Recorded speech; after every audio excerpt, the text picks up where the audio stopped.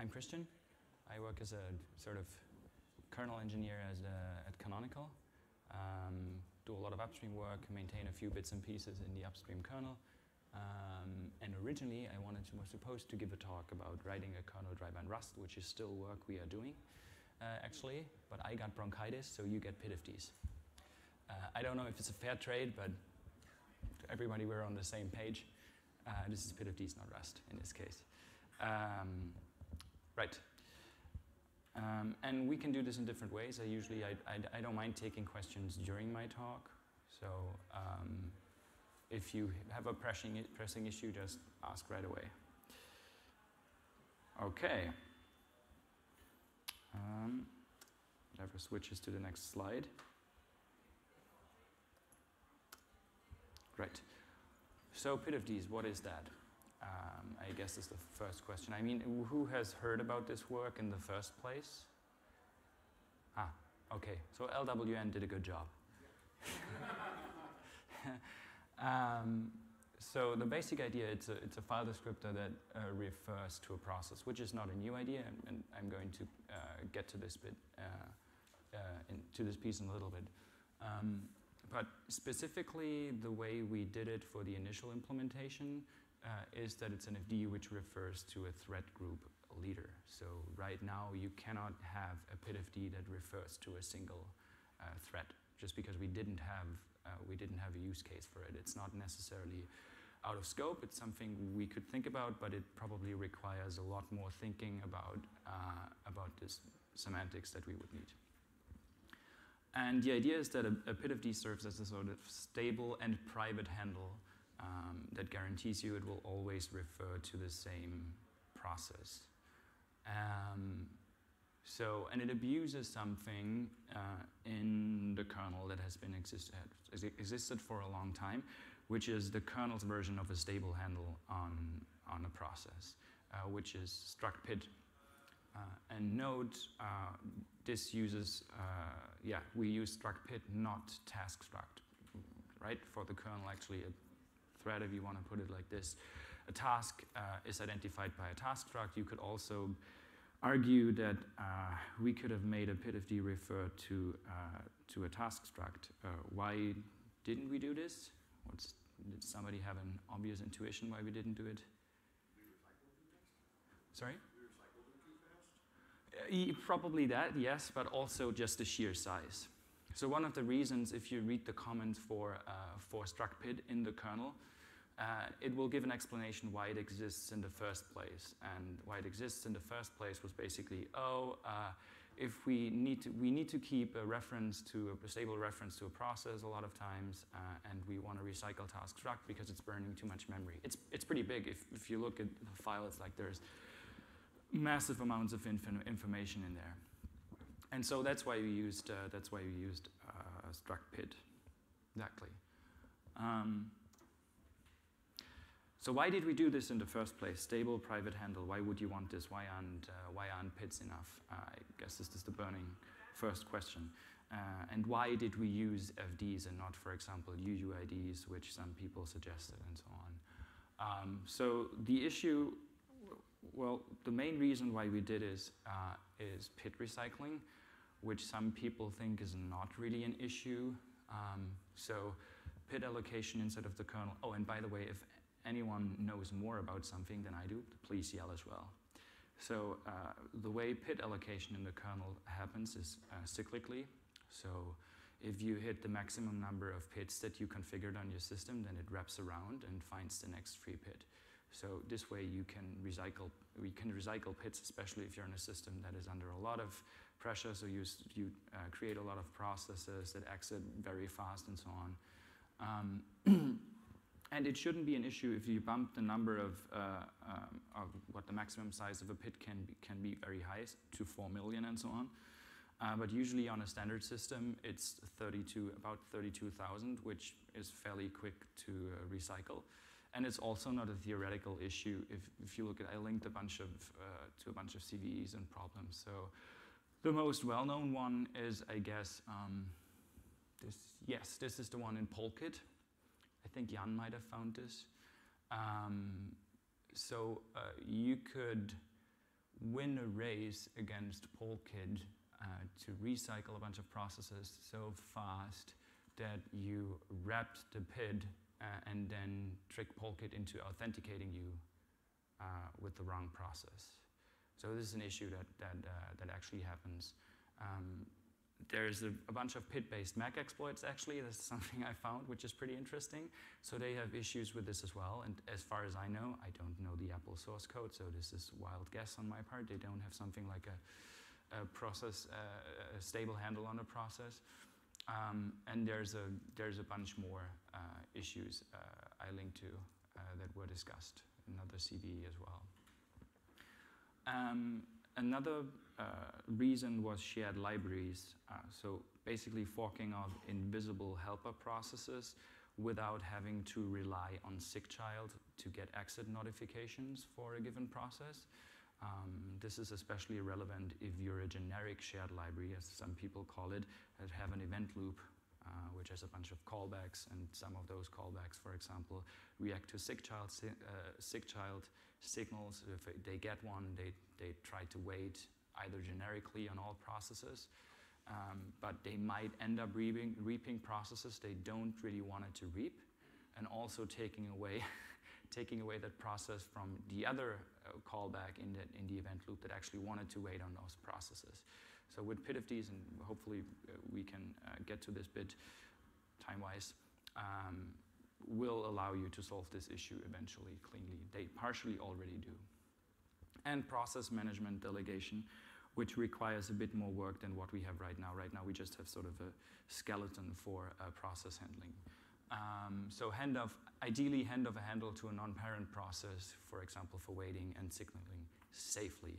Um, I would like to at least uh, explore the possibility of making it possible that non-parent processes can wait on uh, can wait on a process. So if you hand off an, a PIDFD to them, um, the way exactly how we would implement this is I haven't worked on this specifically, but it would be pretty cool if this would be possible. So, but it needs to be safe and it probably would need to be a property that you specify at um, process creation time. So when you, when you create the PIDFD, we'll see in a bit how we create PIDFDs. And the last reason is, and this is sort of my, uh, I guess, defense against why we didn't use UUIDs. Um, the ubiquity of FDs in user space. So we already have a lot of patterns in user space to deal with FDs. This includes, for example, passing out FD info from proc self, FD info, and then the FD. That, that's generic code you can reuse. Uh, most user-space programs that are related to any kind of uh, Linuxy, Unixy system will know how to deal with FDs. So they will have an event loop usually where you can stuff stuff in FDs in and listen for events. Um, they have code to receive and send FDs. Uh, so it's, it's pretty easy. So it should be, ideally, it should be pretty easy to switch to using, uh, to using PIDFDs, um, which was also uh, pretty important. Um, so does user space really care about this feature? I mean, this is a, a question as a kernel engineer we ask ourselves quite a lot, right? So are we just doing this? Well, I would be fine with just doing my work for fun, obviously. But uh, it's also pretty cool if you can come up and say, oh, by the way, this is really a feature that people want and that people actually use. Um, and it's a feature that people actually use. Uh, I've, so some people actually, some projects got in touch and were like, cool that this work exists. We've been trying to use it. Uh, Qt was one of the examples. Systemd was one of the examples. CRIU and uh, LMKD definitely, because there were also people. Joel Joel around?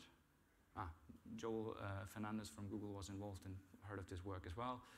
Um, and so dbus, for example, has something that is called Connection Unix Process ID Handle, which is PID-based right now, um, uh, which is used for authenticate. Well, I'm not sure if it's used for, oh, it's used to track a remote peer.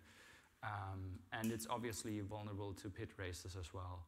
And so they have at least an issue up where they discuss switching to PIDFDs uh, to get rid of this problem and reliably track uh, track peers. Um, Qt, uh, they were once involved in an initial uh, version of, of the patch set a long while ago. I'll be mentioning this in a bit. Um, they want to fork off invisible helper process because they fall uh, under the category of uh, shared libraries that I've been mentioning, generic shared, shared, libraries that don't know what other processes, what other uh, callbacks in the event loop will fork off helper processes. Um, and systemd uh, wants to use it for process management toto coelo, as far as I understand. Um, a specific issue they have up right now is to reliably kill processes when you don't have the freezer C group available. So if you have the freezer C group available, you just freeze the C group and then you kill all processes. Uh, and zombies can't do syscalls, so you're fine. But on systems where you don't have the freezer C group, uh, you want to reliably kill processes, so uh, and you need to identify whether they're in the right C group. So what you can do is you can get a PIDFD, uh, you can read the information in what C group that process is in, but because you you're holding NFD, uh, which is a stable handle, um, uh, you can then reliably kill the process. So PIDFD send signal makes it safe to kill, kill uh, processes reliably. Um, and CRIU uh, has something that is called detect PID reuse. They do predump, which is, Adrian can uh, correct me if I'm wrong, they do a series of pre-dumps when they um, store all information of a process that they later on want to restore. And if you do multiple predumps to, for example, track memory changes over time for a process, you need to make sure that it's still the same process. So they have a function called detect PID reuse, uh, which uses the, I think, process starting time or something. It's, it, it's really not, it's really just a heuristic and it's not really reliable. Uh, and they want to switch to PIDFDs uh, for this as well, which will also uh, let them get rid of this problem. And LMKD, LMKD what I, uh, is um, Android's low memory killer daemon. Uh, which, uh, which wants to make use of PIDFDs to also avoid uh, PID recycling um, issues. And they're probably the ones who profit a lot of this since I'm assuming that they, they they are under memory pressure a lot and they fork off a bunch of processes. Uh, right, so prior art. Uh, this is always important. Um, Obviously, this is completely my idea, and nobody had that idea before. Um, no, I'm joking. Um, this is this is obviously it's it's something that actually um, Aleksa reminded me of. This is pretty obvious if you look at Linux itself. If you look at proc the proc pid directory, proc itself already pins a process, right? That's that's sort of why struct pid exists as well. So a proc pid directory, if you have an FD to it, it, it sort of it pins struct pid in the kernel already. You can't do anything with it, and it doesn't help you at all. But you know the concept is there as well. Just staring at the code for a while, you could probably have figured this out.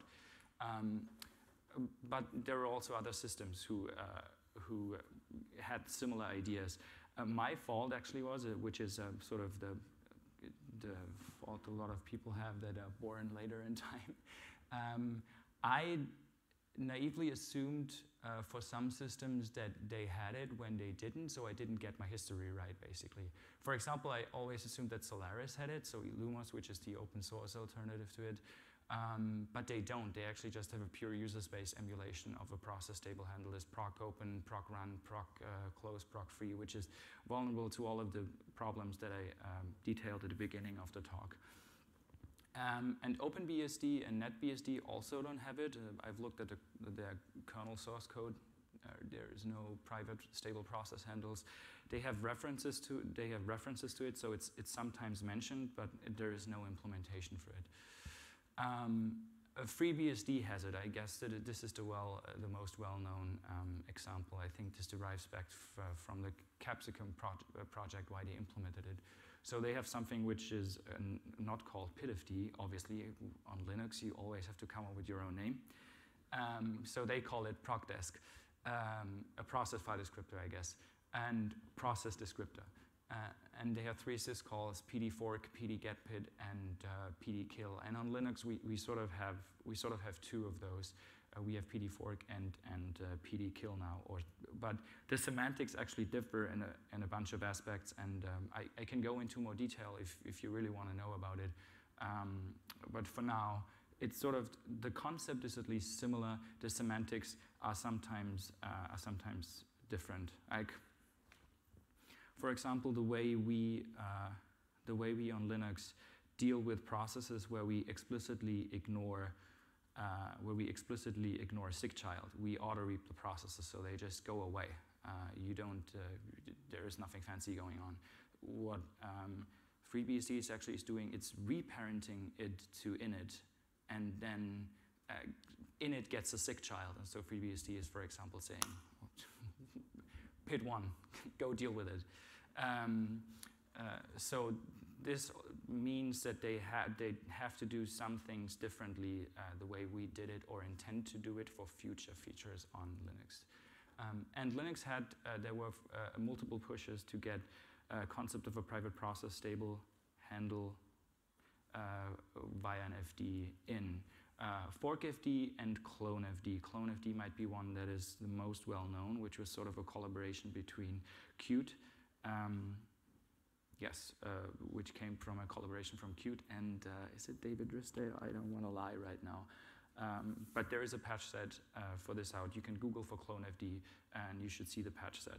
And actually, even back in the day, I, I guess uh, 2015, uh, people were very receptive to the idea, but the patch set itself tried to get in. Sorry, yes? You want more prior art? Um, another piece of prior art is the work from Casey Dahlin, I think it was in 2009, WaitFD, uh, which let you do wait, uh, uh, a wait pid on file descriptors so you could poll things. Um, uh, um, Huh. This also worked for thread-directed signals, um, uh, signals, such as you get from WaitPid on ptrace processes, which unfortunately it looks like th th this won't do because it's a per, per process thing only. A shame. C- currently, yeah. Yeah. There is, there is There a- technically, to repeat, there there is a- technically, There is actually a use case. So I'll, I'll go into ye- it later. Yes. There, there are use cases. I originally thought, for example, for p-thread management or something, it would be really nice to have this. Yes, so there is technically no reason not uh, not to do it. Uh, I think when we started this work, I spoke to Florian Weimer and asked him, um, "What do you think about making use of this for uh, for p-thread?" And he was like, mm, "Yeah, it sounds interesting, but also we need to be backwards compatible. So if they ever, for example, they are saying this is a use case we have, please let's let's get this done and we can think about it." It's really that. Um, that Oleg Nesterov uh, uh, basically said, oh, if we do clone thread right now with PIDFDs, it gets really hairy. Uh, and are we really sure that we want to do this right now? Um, ah, okay. Um, right, so uh, this is prior art. Um, I can talk about CloneFD.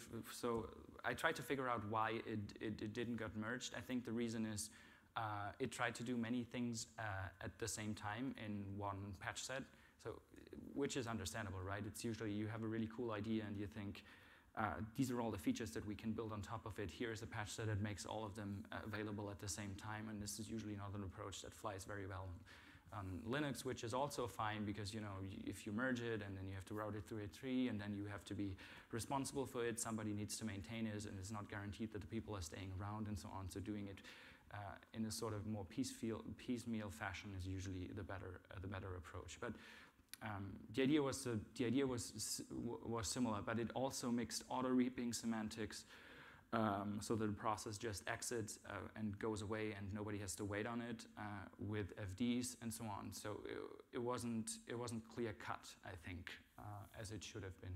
So this really didn't uh, this really didn't land. Right. So what did we do?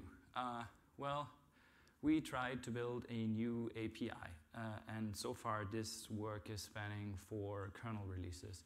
And actually, this sounds like um, this has been a massive amount of code, and we've uh, we've changed many many things. Actually, we we didn't. So, like the, the the actual changes that we needed uh, in the kernel are not that huge. Uh, it's it's just that I sort of wanted to choose a being the one who sort of tried to guide this a little, there were a lot more people involved in the discussion and design, so this is obviously not my, uh, my personal achievement. Um, uh, was just I wanted to have a sustainable speed uh, so that we could be sure that the things we are doing uh, are correct and also that we have time to react to bugs. So if you have to do, you, you push new features at the same time. Uh, and a lot of features at the same time. If things break, you you know it might break in, in a bunch of places at the same time and so on. If you do it piecemeal over a couple of kernels, you have time to catch design mistakes also. And yeah, um, building a new API. A comment I would like to make that I this is the first time I actually speak about this, so lucky you or not.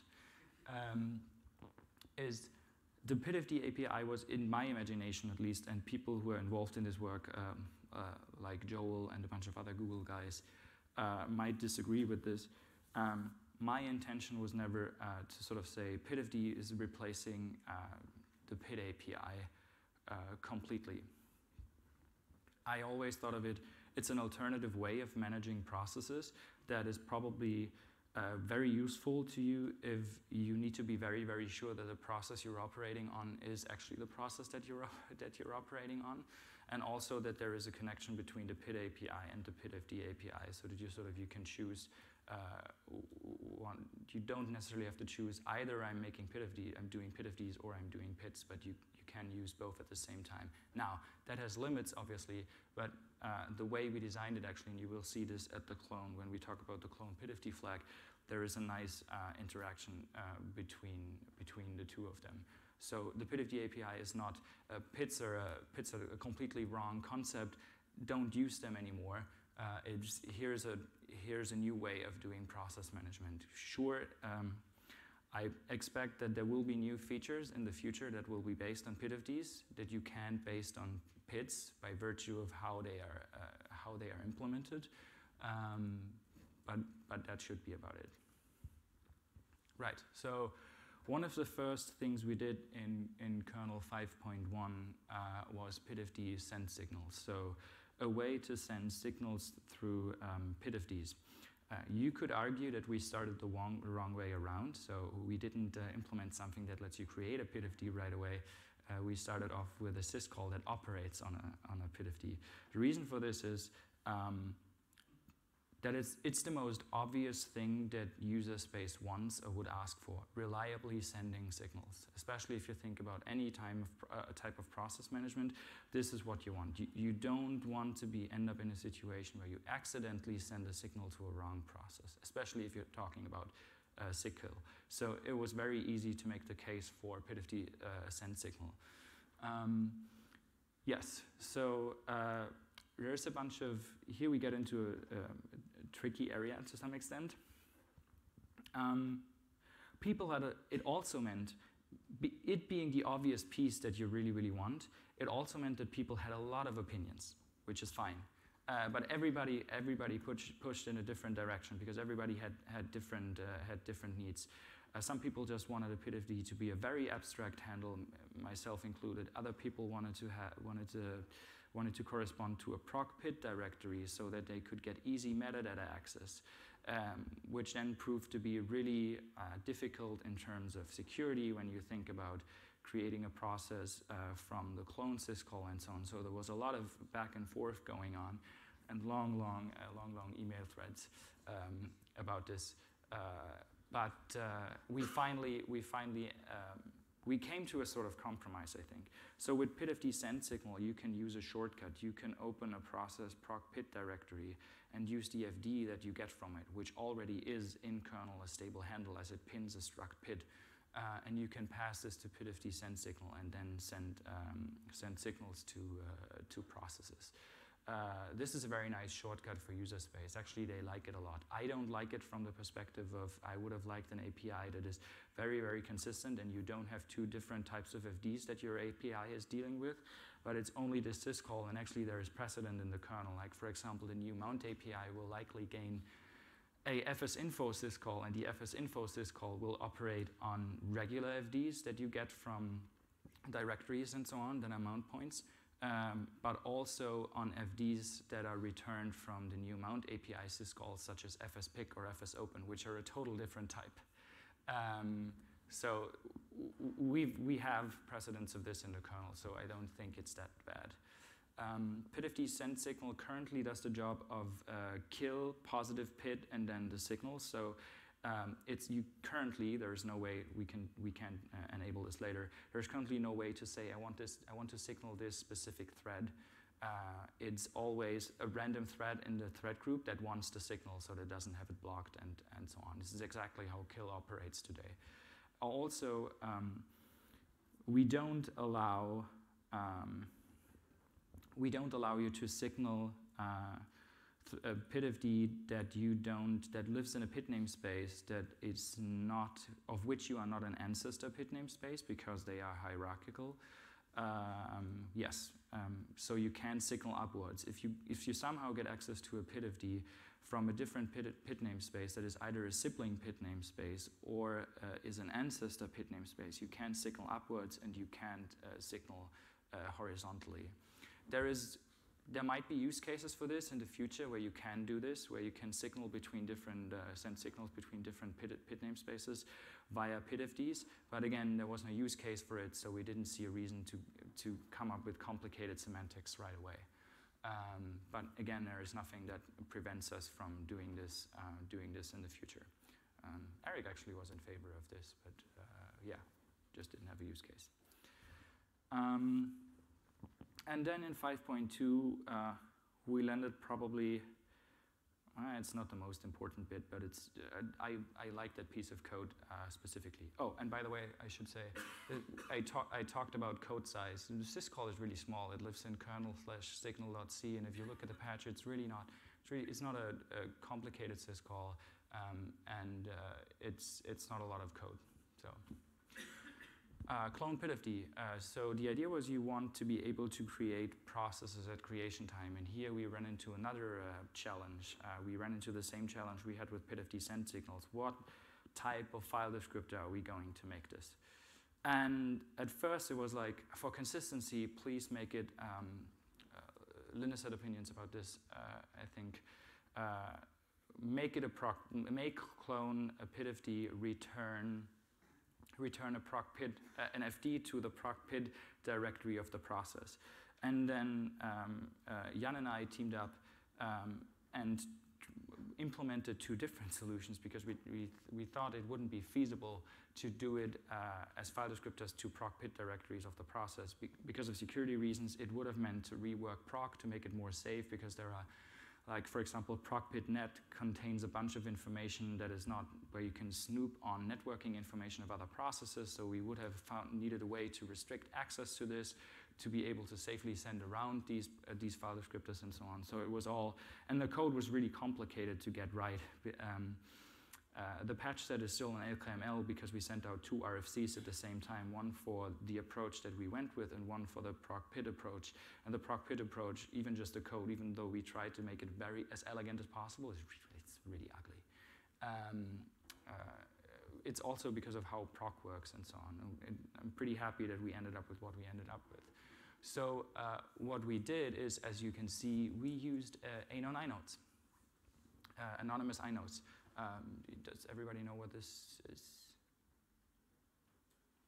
Okay, so I can a brief explanation. It's basically um, just a single inode uh, in the kernel. Uh, it's a small little subsystem. Um, uh, and this inode is uh, shared between all uh, file descriptors, um, right? So you have a timer FD. This is used by timer FDs, by signal FDs, by BPF uses it as well. I guess the new mount API uses it as well. So they don't really require a full inode. You don't need to allocate a new inode all of the time, and then when all references to the inode are dropped, you, you destroy it and so on. It's just, it, the inode just functions to hang on a bunch of file operations on there. That's all you need it for. Um, so it's a really cheap way of creating a stable, uh, a stable handle. And the other nice thing is all of the infrastructure is already there. We don't need to come up with a separate tiny little file systems for PIDFDs and so on, but all of the infrastructure is there. That's, that's the code, that's the core code. There is more changes to this, but that's the core code in fork.c that creates a PIDFD. You specify a flag um, at process creation time, and then you allocate a new file you stash a reference to uh, you stash a reference to struct PID of the process you just created in there, and then you have a stable process handle. You return that uh, you return that um, FD. Uh, so we stole uh, the last uh, the last usable um, flag for this uh, from clone. So if when clone PIDFD landed, clone was saturated. Um, there are a bunch of flags that are unused that the kernel currently ignores, but we can't safely reuse them because I looked at, started looking at user space uh, and glibc and musl. That's the way you pronounce it, right? Muscle, useful muscle. Um, and uh, they, for example, they still pass clone detached down. And the clone detached flag has been, has been ignored, I think, since kernel 2.6 something or something. But it means if I then were go on, someone were to decide like, let's uh, recycle the clone detached flag because nobody should be using this anymore in user space, then, well, two libcs are broken. Um, so that's, that wasn't going to fly. So uh, out of clone flags, uh, we've solved that problem later. We have a new clone version. Um, another specialty about, I guess, PIDFDs is uh, which I tried to push for also for the new mount API, but that wasn't super well received, is that they are cloexec by default. But especially for PIDFDs, I guess it makes sense. You really don't want to leak PIDFDs into, uh, into a child process. Um, uh, so yeah, as you can see, they're cloexec by default. Um, which in my ideal world, every new file descriptor type that we create uh, should be cloexec by default because you can use uh, what, what we decide how is func fcn control? Functal okay let's go with functal you can take functal and take uh, take away the cloexec flag. Um, to do it race free the other way around is a bit more a bit more difficult. But there are certain fractions in the kernel that think that's not a great idea because then we end up with uh, some file descriptors that have uh, OCLOexec by default and some file descriptors that are not. But actually, even before the PIDFD uh, change landed, this was already the case for, for example, for the seccomp notifier FD, which is a new file descriptor type that you can get from seccomp is cloexec by default as well. So that ship had already sailed. But yes, if you have, if you think about adding a new file descriptor type, it would be I, would uh, strongly urge you to consider it to make it cloexec by default because user space will really, uh, really thank you for doing that. And also, uh, we wanted to have a connection. So there are two ways where the PIDFD API and the PID, PID API are connected here. So if you specify clone PIDFD, the original implementation that we had, and that also the original clone FD um, patch that had last I looked at it, um, was that if you specified the flag, then you didn't clone didn't return a PID but it returned you NFD. So basically, you did type switching based on a flag, which is not very nice, but this was the first implementation that, uh, that we had. Um, it also meant that you couldn't return uh, zero, right? For file descriptor, zero is a perfectly fine value if standard in is closed. Um, but obviously, uh, zero as a return value is used uh, to indicate that this is the child process right now and not the parent process. So we would have uh, we could not have allocated file descriptors uh, starting from zero, which again is not very nice.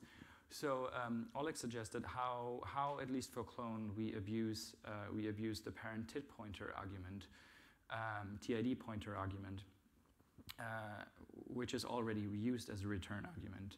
Uh, only for clone parent set TID and for legacy clone make it, uh, make it incompatible with clone PIDFD so what we what you get right now, even with legacy clone, is you you get a PID back, normal behavior, but you also get a PIDFD placed in the parent TID pointer uh, pointer argument. So you see, there is no there is not additional effort needed for you to find out what the PID is for that uh, for that PIDFD, which is again different to FreeBSD. You have PD fork, it gives you a proc desk uh, back, and then you need PD get PID, I think, uh, another system call that gives you the that gives you the, the PIDFD back, uh, gives you the PID back for the uh, proc file descriptor that you use. For us, it's both at the same time, PID and uh, PIDFD, which is nice. So you can choose what you're operating on. Well, probably if you don't want it PIDFDs, you wouldn't have specified clone PIDFD, but yeah. And also. Um, if you have a PIDFD, uh, but you don't have a PID, and you want to you want to learn what this uh, PIDFD, what PID this PIDFD is referring to, we have uh, proc PID FD FD info, and FD FD info will uh, currently give you uh, the PID number uh, for in the PID namespace of the proc instance you're looking at. So if you you can parse out the PID. Um, to, there's an alternative way of doing this. Right, so this is obviously now you can, in a race-free way, create PIDFDs as process creation time. Uh, but with the new clone system call that I added, clone 3, you also have a dedicated return argument in, in it's now a structure uh, which gives you back the, um, the PIDFD, so it, it's, it's cleaner. Uh, also, we're not out of flags. Um, this is work that has been done uh, by Joel. This is something that um, that we discussed early on is also had some controversy uh, associated, associated with it because we have different requirements and different ideas of what we want from this. But basically, right now, if you have a PID I'm sorry, if you have a PID uh, you can get exit notifications uh, even as a non-parent process. You don't get the exit status currently, but you at least get notified that process has exited. Well, technically, to be very precise, you get notified when um, the thread group leader exits and the thread group is empty. Well, it should never be the case. That that's a that's a bug. That there was actually a bug where you could have a, a zombie thread group leader, but threads that were still alive, which shouldn't happen because now you have a problem that you can't send signals through a zombie thread group leader. So find all of the threads and kill them one by one. But yes, so when the thread group leader exits and the thread group is empty, you get notified that uh, this process is um, now gone, which means uh, for a shared library, you can now turn off, if you use PIDFDs, you can now turn off SIGCHILD. Um, say, I don't want a signal when that process exits because I have a PIDFD and it's in an epoll, leap, uh, epoll loop and I just want to be notified over the PIDFD, uh, not via SIGCHILD, uh, which made a lot of people very happy apparently. Um, so you can hand off these PIDFDs, stuff it in epoll loops, and then watch for uh, watch for process uh, exits. This is also again this is the code. It lives in two different files, but I compacted it together. Um, PIDFD poll lives in fork.c, uh, because it's a file method, and do notify PIDFD lives in don't let me lie signal.c. Oh, yes. Um, uh, so when a process exits uh, and do notify parent is called, it calls do notify PIDFD, and if you have been watching closely, you see that in struct PID there is uh, hlist head task, no, nonsense wait q head t wait PIDFD. So uh, struct PID, uh, everyone gets notified that has a reference to struct PID via such a PIDFD. Okay, and that's obviously that's a that's a pretty interesting it's a pretty interesting piece of work. Um, it's not as advanced as what FreeBSD has to uh, to draw comparisons. Um, FreeBSD has kqueue, and they they also can get notifications such as um, the exit status uh, for non-parent processes via, uh, via kqueue. Uh, because kqueue, in contrast to epoll, gives you information back from the kernel. So you can just stuff, uh, uh, stuff put stuff in the, uh, in, as we do with epoll, you can put stuff from user space in there, and if you get a notification on DFD, you get it back from the kernel, so you stuff your own information there. kqueue also gives you back information from the, that the kernel places in there, especially for proc file descriptors. And then you can watch, you can also watch uh, when one of these proc file descriptors uh, forks or execs and so on. That's pretty nice. Maybe at some point in the future we can have something similar, but since we don't have kqueue and epoll can't give you back data from the kernel, at least not as far as I know, um, there is currently no nice way to do this, and we didn't want to implement read uh, on PIDFDs at this point, uh, at this point in time. Um, Jann was against this as well for security reasons and so on. So currently, if you're a non-parent, you cannot, uh, well, you can read proc, obviously, to get the exit status, but there is no easy way to read it off of the PIDFD. But yeah, we can probably find ways to do this. Um, and also in 5.3 is PIDFDs without clone PIDFDs. So um, this came especially from, from uh, the LMKD uh, uh, guys uh, at Android. And also, uh, systemd had a use case for this. So if you forked a process and you wanted to get a pollable PIDFD uh, for, for them, then you can you couldn't do this, but with PIDFD open you can. You specify uh, you specify the PID, and uh, then you get a PIDFD for it, which is uh, pollable pollable as well. Um, and for 5.4, this is sort of the last, uh, the last PID for the, for the skeleton, more or less, um, is waiting. This is proposed, so it's been, it's been uh, sent to Linus. I don't know if he's going to take it. Maybe he won't. Uh, but it's up for the 5.4 uh, merge window, is waiting through PIDFDs. We had a bit of a discussion how we exactly wanted to implement this. The most obvious way uh, to a lot of people seemed to add a new type to the wait ID system call, P_PIDFD, uh, which yes, which you can specify. You can specify a PIDFD and then you can wait on it. Uh, so that's the that's sort of the, the core API that we have right now. Um, the idea is there is a bunch of ideas that uh, that I still have that I have started working on, um, but haven't fully. I'm not fully sure about what semantics uh, I want. Like for one of the things, for example, that I like, and that a lot of user space projects also like, is uh, the kill on close semantics that uh, uh, FreeBSD has by default. So if you close the PIDFD and it's the last FD that refers to the struct file that stashes away um, struct PID, then uh, the process automatically gets, uh, gets sick killed. Um, we, we have it the other way around. And if you want to keep the process alive, even when the last PIDFD has been closed on FreeBSD, you need to spe specify a, special flag called pdaemon, pddaemon, I think. Um, for us, it's the default. The process stays alive even if you specify, uh, even if the last PIDFD is closed.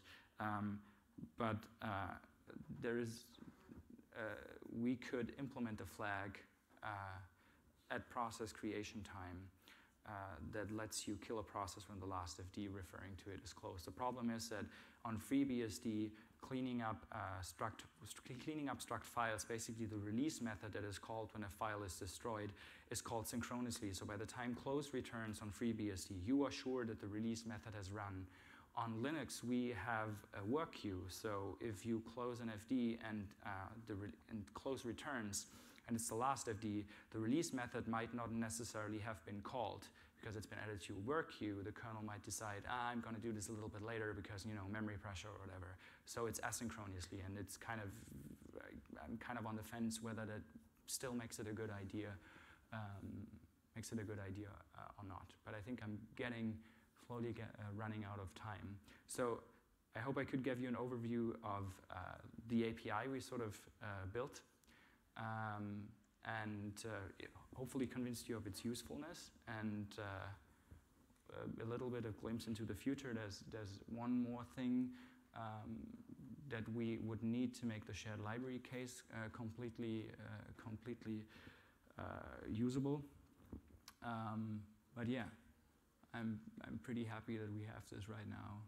And if you have any questions,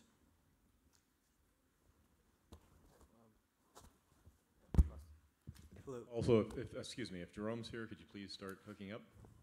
Oh, yes, I can also unplug. Thank you.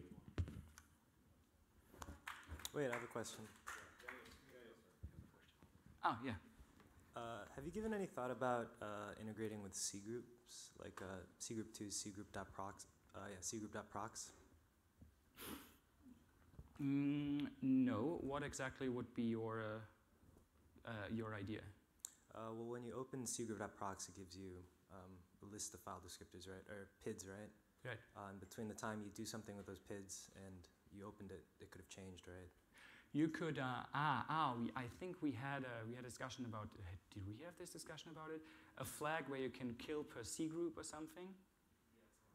Uh, there are certainly ways where we can think about this, uh, where you can make it so that you could take down a whole cgroup, for example. But so far, I haven't thought about this. But yeah, there are so many. To be honest, there are so many possibilities that you could go with, that you could do, that it's kind of sometimes hard to be uh, to stay calm about this. Um, but I don't want to rush. But I don't want to rush things. But we're always open for patches. Like the PIDFD stuff has its own tree. Um, so, yeah.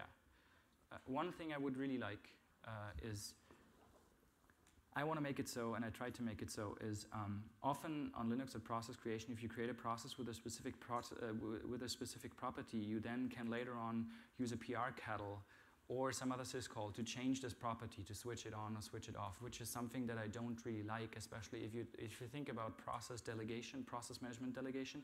You really want that property to be created at process creation time, and that process sticks with this process until it goes away.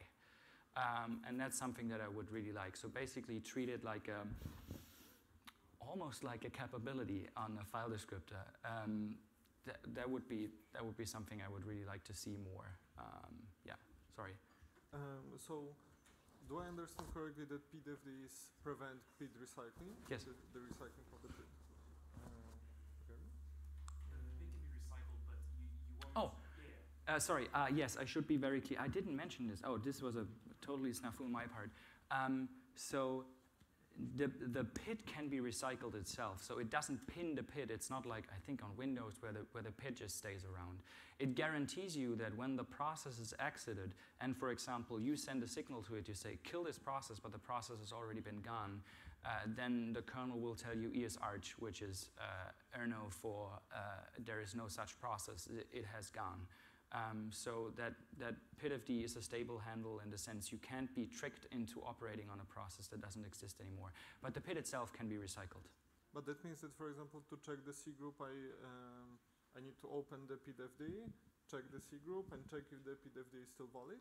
Is Yes, there is code. There is a sample. There is a sample program uh, exactly for that reason because I knew that came up. There is a, a sample program in uh, a directory in the samples directory slash pidfd something something that shows you how to, in a race-free manner, turn uh, an, an anonymous inode pidfd into a proc PID directory. It basically involves parsing out uh, the proc PID fd info, the PID from that file, uh, then opening that file and then sending a signal and checking whether it's still the same process. So it's, it's really in there. You can see how this can be done in a race-free manner. We exactly thought about this Okay, case. I'm sorry to interrupt, Oh, but uh, uh, thank you very much. Let's thank the speaker and let's welcome our next speaker.